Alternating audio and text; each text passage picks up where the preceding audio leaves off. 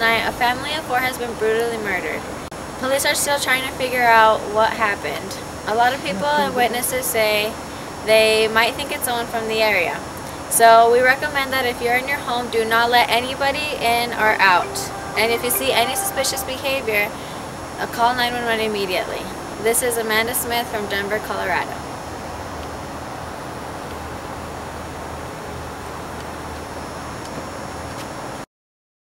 class. Today we'll go over paranormal activities and how they affect the human brain psychologically. I will give you time to go to the library and work on it, so don't procrastinate.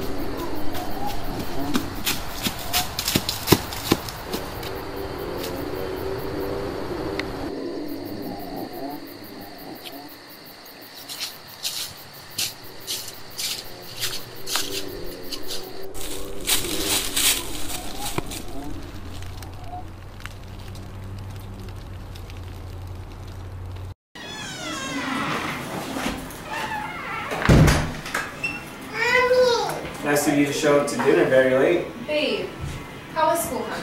It was fine, I guess. We're doing this project for a psychology class, and I'm doing some research for paranormal activity and how it affects humans.